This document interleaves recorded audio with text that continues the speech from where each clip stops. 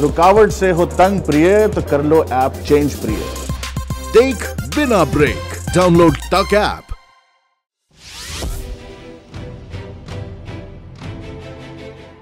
वकीलों के वेलफेयर के लिए chief ministers advocates welfare scheme का ऐलान किया था जिसके तहत 50 करोड़ रुपए अलग से रखे गए थे। वकील समाज के लिए बहुत इम्पोर्टेंट सर्विस अदा करते हैं, जिसको दिल्ली सरकार रिकग्नाइज़ करती है। और वकीलों की बहुत समय से ये मांग रही है कि उनके वेलफेयर के लिए अलग से योजना बनाई जाए।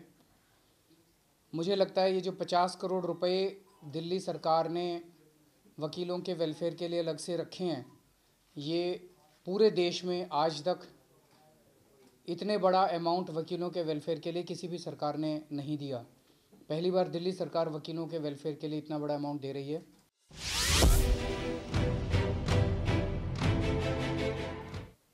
ये पचास करोड़ रुपए किन किन चीज़ों पे उनके कौन कौन से वेलफेयर के ऊपर खर्च किए जाने चाहिए? समय समय पे अलग अलग वकीलों की संस्थाओं ने अलग अलग डिमांड्स रखी हैं। उसको मद्देनज़र रखते हुए हमने तय किया कि सरकार ये तय नहीं करेगी। कि उनके किस वेलफेयर के लिए कितना पैसा खर्च करें। उसके लिए आज हमें एक ऑर्डर जारी किया है दिल्ली सरकार ने, जिसके तहत एक तेरह वकीलों की कमेटी बनाई गई है। और ये वकील जो हैं, ये जो इनकी बॉडीज़ हैं, जितनी भी बॉडीज़ हैं लगभग सभी बॉडीज़ से एक एक एक एक रिप्रेजेंटेटिव हम लोगों ने लिया है। तो इस बॉडी के कन्वीनर होंगे श्री राकेश कुमार खन्ना।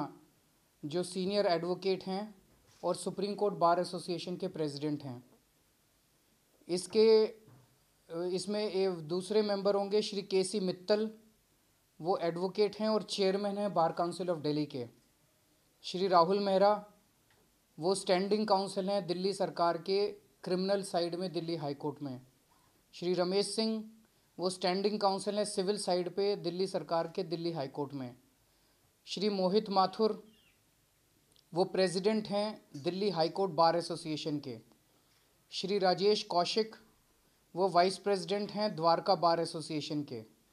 श्री आर के वाधवा, वो प्रेसिडेंट हैं न्यू दिल्ली बार एसोसिएशन के Patiala house courts. Shri N C Gupta, वो प्रेसिडेंट हैं दिल्ली बार एसोसिएशन के तीस हज़ारी कोर्ट्स। श्री हेमंत महिला मेहता, वो वाइस प्रेसिडेंट हैं साकेत बार एसोसिएशन के।